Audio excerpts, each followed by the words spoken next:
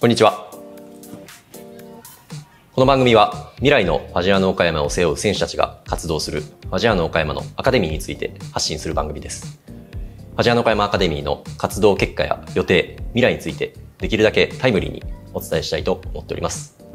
ァジアーノ岡山アカデミーマネージャーの西原です。よろしくお願いします。よろしくお願いします。西原さん、焼けました？受けましたね。あっという間に。別に外に出て指導する立場じゃないんですけどね。まあ、それだけ現場出てるっていうことですよね。出ているのか っていうことにしておきましょう あのこのコロナ禍におけるあの在宅ワークといいますかテレワークといいますかあのそれをこう室内にこもるテレワークじゃなくてあの庭に出てあの日光を浴びながらあの仕事に打ち込むという、まあ、に庭ワーク庭ワークを最近やりだしております。いや、別にうまいこと言えてますああ失礼しました。言うとりますけどね。言うとりますけど。はい。で今週もよろしくお願いいたします。よろしくお願いします。またちょっとキャラをしっかりと戻したいと思います。はい。早速ですが、先週末の結果についてお願いします。はい。まず5月の21日土曜日にアンダー15の、えープログレスリーグ3年生が中心となるチームの、えープログレスリーグを、えー、廿日市 FC さんと、えー対戦し、えーこれについては1対0で、えー勝利をしております。えー後半えー27分にえースローインの流れからえー7番のえーフォワード坂本選手の、まあ、キープからの落としをえー10番えースエムネ選手がえー右足で、えーまあ、あの調子の良さを表す足の振り抜きからえーゴールを決めています。あのツートップが坂本選手と、えー、末宗選手という、まあ、あの小学校年代でいうと太田 FC さんのあの出身のあのコンビからなるあうんの呼吸による、えーゴールが、えー生まれてであのこの1点を守りきってえー1対0でえー勝利をしております。また、えー後半セットプレーの流れから、えーカウンターを許して、えー相手の抜け出しから、えー大ピンチを、えー招いたんですけどもあのこれを、えーゴールキーパーの、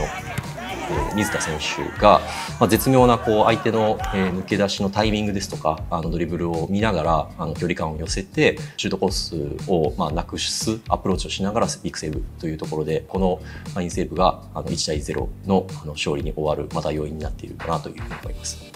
ありがとうございます。では、他のカテゴリーをお願いします。はい、はい。えー続いてあの同じ5月の21日土曜日土曜日に、えーアンダー13の1年生の方のアンダー13、えー中国プログレスリーグも、えー実施されて、えーピジョン FC さんに、えー5対0で、えー勝利をしております。で前半7分にえー先制点を挙げています。フリーキックから抜け出したあと前節もあの得点をしっかりと決めているフォワードの五花選手、まあ、一度はあのゴールキーパーに阻まれたんですけどもこぼれをキープから左足でえしっかりと押し込んでおります。でまあ、フリーキックのところで、えーまあ、岡選手が唯一こうその隙を見逃さずにえ絶妙な動き出しあの柳沢選手を彷彿とするあの平行で我慢しながら最後抜け出すっていうところの、まあ、動き出しから点を挙げたのとあとは、まあ、そのフリーキックを蹴ったキッカーの森選手もその隙を見逃さなかったっていうところであの良い先制点になったかと思います。まあ2点目をあの軸前半に、えーゴールキーパー横川選手からの、えーフリーキックを、えーフォワードの岡選手がヘディングでそらしてで先制点を取った岡選手の、まあ、相方といいますか同じフォワードの、えー糸野選手が抜け出しから独走で、えー得点を決めています。はい。で、その後も、えー3点目、4点目を前半に上げて、えー後半もダメ押しとなる5点目を、えー得点を挙げて5対0での、えー勝利となっております。アンダー15はなんかすごい調子がいい感じがしますね。そうですね。まあ本当にあの、まあ各学年、あの、まあ一部あの上のカテゴリーに行っている選手とかもいるんですけども、まあ各学年、あの、それぞれのこう、個性ですとか、えーその学年のこう、チームのカラーっていうものが、あの、存分に出ながら、えーまあ結果もそうですし、あの、内容のところが本当にこう、伴って、アグレッシブに、あの、こう試合、各試合ができているかなというふうに、はい、思います。あの、見ててこちらもこう元気をもらうような、あの、プレーが本当に満載で、はい、あの、こう今すごいいいサッカーと、はい、いい戦いができているのかなと思います。ありがとうございます。はい他はいかがでしょうか？はい。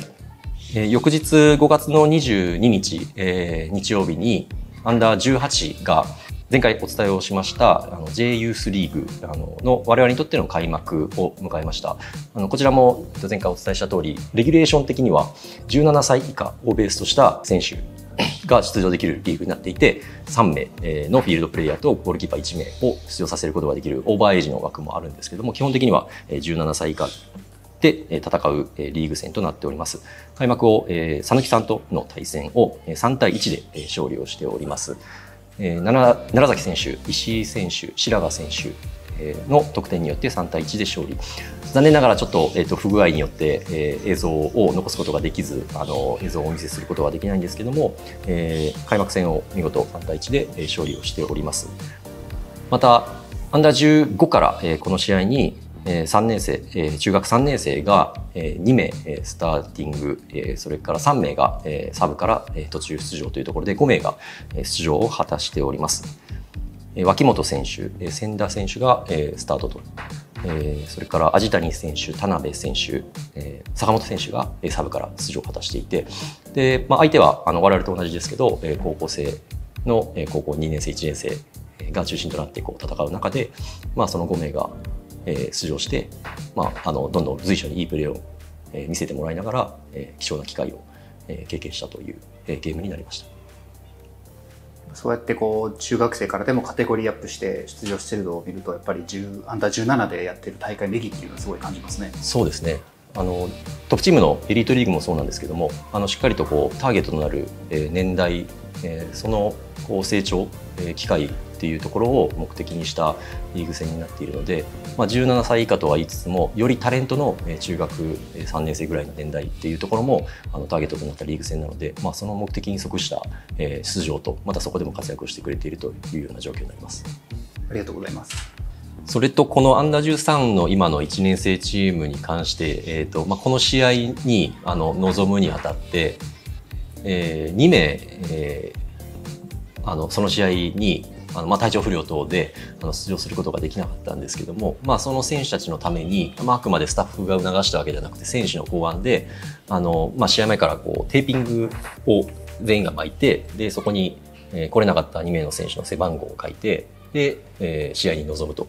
いうところを、えー、選手それからスタッフもあの全員でえー、あくまで選手の発案であのそこで試合それで試合に臨んだっていうところが、まあ、本当にこうある意味こうファジアーノらしくといいますか本当仲間を大切にしながら、えー、戦う気持ちっていうところをもう選手自身があのしっかりとこう考えながらというかあの心に持ちながら、えー、もうえー、中学1年生なんですけどもあのそういった思いで活動しているっていうところがあの本当にこちらとしてもあの嬉しかった、えー、そんなトピックです。はいえー、他、えー、アンダー12は、えー、5年生のチームが、えー、岡山市小、えー、東部リーグ、えー、を3試合、えー、実施しております。その他、各カテゴリーが、えー、トレーニングマッチ等を行った、えー、週末になっております。あと、これについては試合結果ではないんですけども、えー、先週、えー、19日から22日の4日間で、えー、アンダー14の、えー、ナショナルトレセン、えー、の西日本、えー、が、えー、開催されていて、えーと、そこに選出された中学2年生の榎木良二選手、山内周平選手が、えー、この4日間の、えー、トレーニングキャンプに参加しております。でまあ、西日本、えー、地域は四国、えー、中国、四国、えー、九州の、えーと、計36名、えー、でキャンプが行われていて、まあ、その中の、えー、2人が選出されてそのキャンプに参加してきているで今回が前期なんですけども、まあ、さらにこの後期に選出されてその後にエリートプログラムという、えー、昨年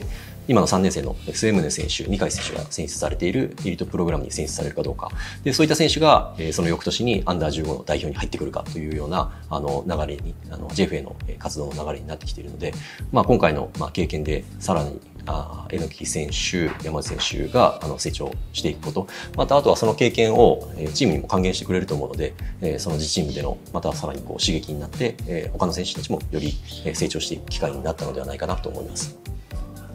では続いて、えー、今週末の予定をお願いします。はい、まず、アンダー18が、えー、この今週末28日の土曜日に、えー、アンダー18クラブユース選手権、えー、の中国予選が、えー、スタートします。えー、対戦相手は、えー、ブリロ東広島さん。でそのブリロさんとあとは、中国地方でレノファ山口さんガイナール鳥取さん、と、我々ファジアの岡山の4チームでの、リーグ戦となっていてでその4チームでのリーグ戦で、1位になると全国大会に出場できるというところで、土曜日1時から、キックオフで、えー、マサダにて、対戦します。29日は、今、中国プリンスリーグと県リーグが中断期間に入るんですけども、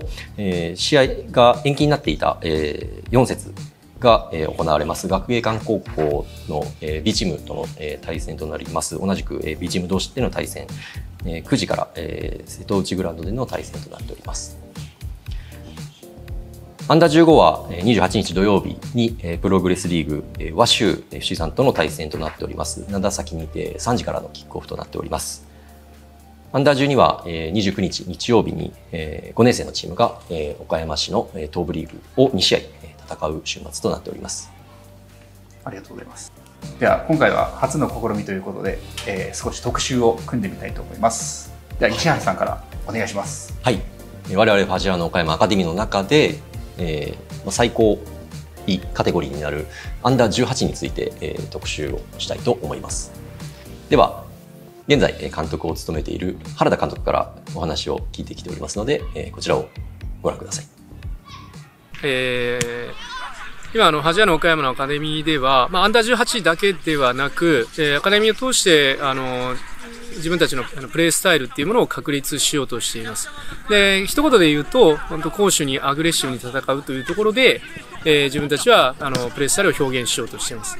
で特に攻撃の方では、よりゴールに向かってどんどん前に出ていくっていうことはやりたいです。あのー自分たちがこう、ボールを大事にするっていうのはもちろんなんですけど、だからといってこう、ボールが後ろに下がる下がるじゃなく、やっぱり相手ゴールに向かって、どんどんゴール前にボールを運んでいって、えー、まあ、シュートチャンスをたくさん、たくさん作るっていうところを、まあ、目指しています。逆に守備では、あの、同じくアグレッシブにっていうところを、ボールを奪いに行くっていうところで表現しようとしています。ボールを奪える機会を待ち構えるのではなくて、自分たちからどんどんボールに向かって奪いに行くっていうことを、えー、スタイルスとして掲げてやっています。まあ見てる人って、あの、あ、ボールバーに行ってるなと、あの、アグレッシブに戦ってるなっていうものは、まあ僕らのサッカーだというふうに、えー、選手と共有しながら、まあ日々トレーニングに励んでいるという状態、状況です。はい。まあトレーニングだけでなく、とでも言えましょうか。ピッチの中では常に選手自身が、まあどうあるべきか。局面局面の中でどうプレーするべきか、で、どうやったら、まあ、成功にたどり着けるかっていうことを、まあ、判断して、で、その上で、まあ、サッカーなんで、あの、技術を発揮して、まあ、得点を奪いに行く、あるいはボールを奪いに行くっていうことが求められます。で、僕らは、あの、IDP と呼んでるんですけれども、あの、いわゆる個別に、えー、それぞれの選手に応じた育成のプログラムを組んで、えー、選手自身と、こう、まあ、課題だったり強みっていうものを共有して、それぞれの選手に応じた、えー、まあ、育成をしているっていうところです。はい。あのー、まあ、それらをこう可能にしているっていうのは、あの、僕らもその学年がおよそまあ13人ぐらいの3学年なので、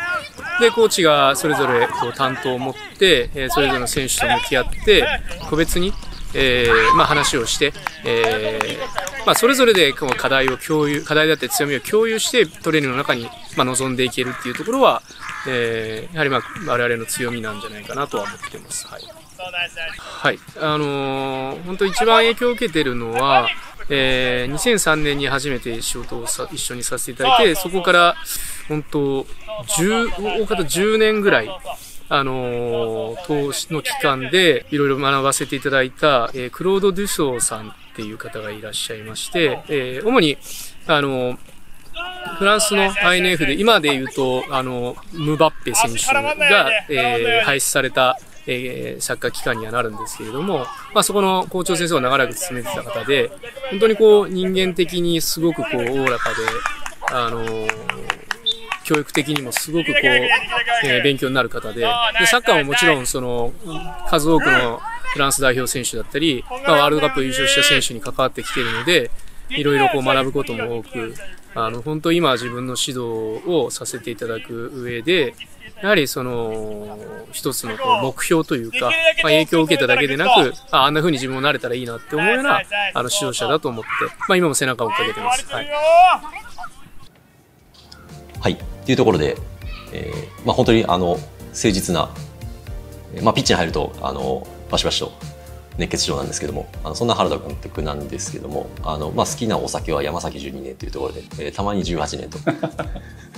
はいで、アンダー18の活動については、えーまあ、先ほど原田監督からもありました IDP、えー個別育成計画等のあの、まあ、様々な取り組みを行いながら、あの、以前にも話をさせてもらいました、あの、フットボール、えーそれからタレント確保、えー環境面、その3本柱を、あの、今どんどんこう、より良くしていっている中で、えーまあ、選手の成長をまず第一に、あの、右肩上がりになっていくように、今、えー各スタッフ、あの、それぞれが、えー励んでいるというところです。まあ、それと、まあ、その、今、アンダー12が、えー2015年に発足して、で、その時の1期生が今高校2年生の年代になっております。で、アンダー18に所属する2年生の中には、え1期生も在籍していて、で、その中で、勝部選手なんかは、あの、まあ、ディフェンダーの選手なんですけども、あの、本当に、こう、闘志あふれる、えーあとは本当にファジアの岡山らしいといいますか、えー常にこう全力を出し尽くすですとか、あとは、まあ、どんな状況でも、あの、本当にあの力を出し切れる選手としてあのこの後こうトップチームにあのつながるような選手になれるように本当にここからのあのさらなる成長というのは本当に楽しみにしたいというふうに思います。はい。では、今回のアカデミーニュースもえ以上とさせていただきます。高評価、コメント、チャンネル登録、ぜひよろしくお願いいたします。では、また次回お会いしましょう。さよなら。